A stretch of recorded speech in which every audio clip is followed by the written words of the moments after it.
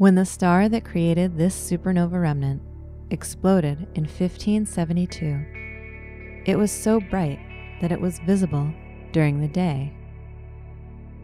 And though he wasn't the first or only person to observe this stellar spectacle, the Danish astronomer Tycho Brahe wrote a book about his extensive observations of the event, gaining the honor of it being named after him.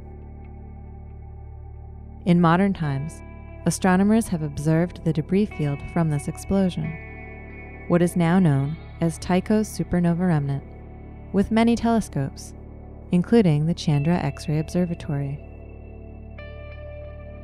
Since much of the material being flung out from the shattered star has been heated by shock waves similar to sonic booms from supersonic planes passing through it, the remnant glows strongly in X ray light.